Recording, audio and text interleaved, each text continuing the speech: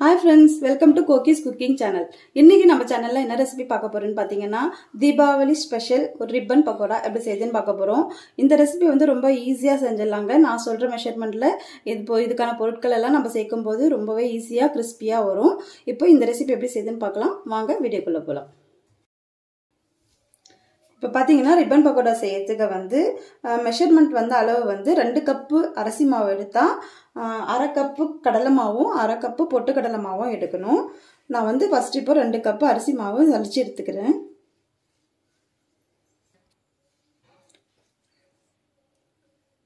இப்போ இது கூடவே நம்ம கடலை மாவும் பொட்டு கடலை மாவும் சேர்த்தே சளிச்சிக்கலாம் இது வந்து கடலை மாவு பார்த்தீங்கன்னா அரை கப் எடுத்திருக்கேன். இப்போ பார்த்தீங்கன்னா பொட்டு கடலை மாவும் அரை கப் எடுத்திருக்கேன். இப்போ இது எல்லாமே சேர்த்து சளிச்சு எடுத்துக்கலாம்.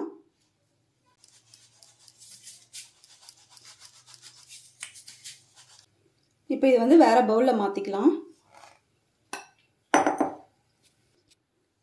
பார்த்தீங்கன்னா இப்போ இந்த மாவுக்கு தகுந்த உப்பு சேர்த்துக்கலாம். காரத்துக்கு ஏற்ற மாதிரி மிளகாத்தூள் ஆட் பண்ணிக்கலாம். கொஞ்சமாக எள்ளு ஆட் பண்ணிக்கிறேன். நீங்கள் வேணான்னா ஸ்கிப் பண்ணிக்கோங்க. பெருங்காயத்தூள் கொஞ்சமாக ஆட் பண்ணிக்கிறேன். இது எல்லாத்தையுமே ஒன்றா மிக்ஸ் பண்ணிக்கலாம்.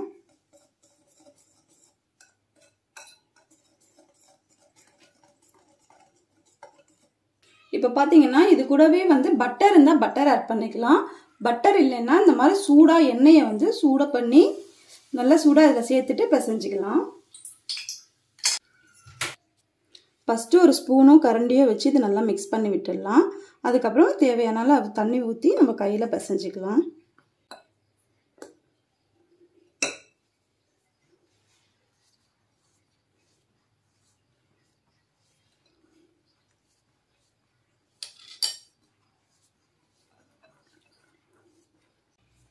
இப்போ பாருங்கள் இது நல்லா எண்ணெயை ஊற்றி நல்லா பிசைஞ்சிட்டோம்.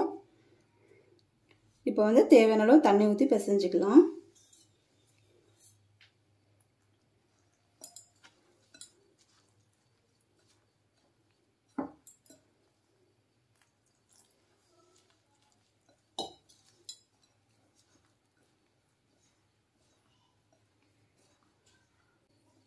பாருங்க இப்போ இந்த அளவுக்கு சூப்பராக பிசைஞ்சாச்சு. இப்படி இருக்கணும். பாருங்க இதுதான் ரிப்பன் பக்கோடாவோட அச்சு.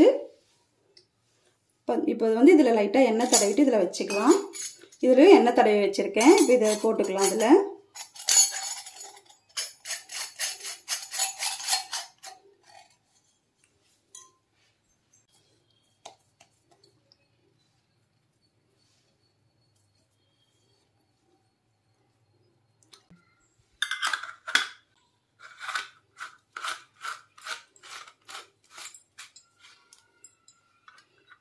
இப்போ இது எண்ணெயில் பிழிஞ்சு எடுத்துடலாம். பாருங்கள் இப்போ எண்ணெய் காஞ்சிருக்கு. செக் பண்ணிக்கலாம். கண் எண்ணெய் நல்லா காஞ்சிருக்கு. இப்போ இதை எடுத்துகிட்டு நம்ம பிழிய ஆரம்பிச்சிடலாம். ஃபஸ்ட்டு வந்து இந்த ஓரமாக இருந்து நம்ம அப்படியே பிழிஞ்சிட்டே வரலாம்.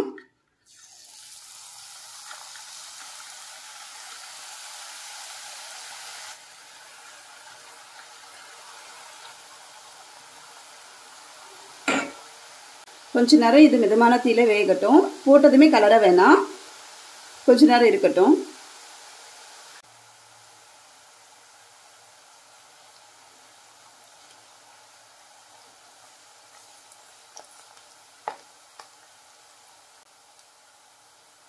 இது கொஞ்சம் சலசலப்பு அடங்கினதுமே நம்ம திருப்பி போட்டுக்கலாம்.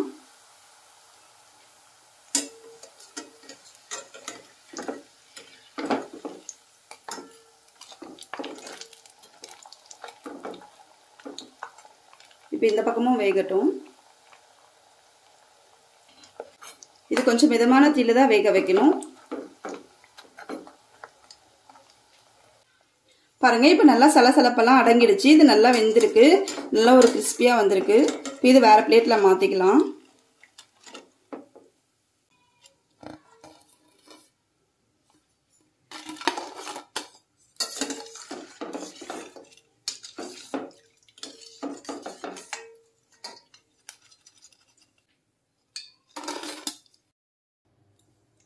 பாருங்க நம்மளுடைய சுவையான ரிப்பன் பக்கோடா சூப்பராக ரெடி ஆயிடுச்சு பாருங்க.